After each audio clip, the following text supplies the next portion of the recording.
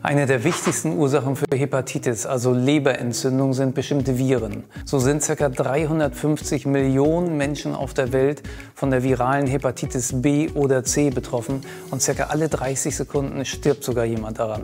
Die größte Gefahr bei Hepatitis B und C ist die zu lange unerkannte Infektion, denn dann kann irgendwann die Therapie nicht mehr greifen und es kommt zu Leberzirrhose, Leberkrebs und Leberversagen.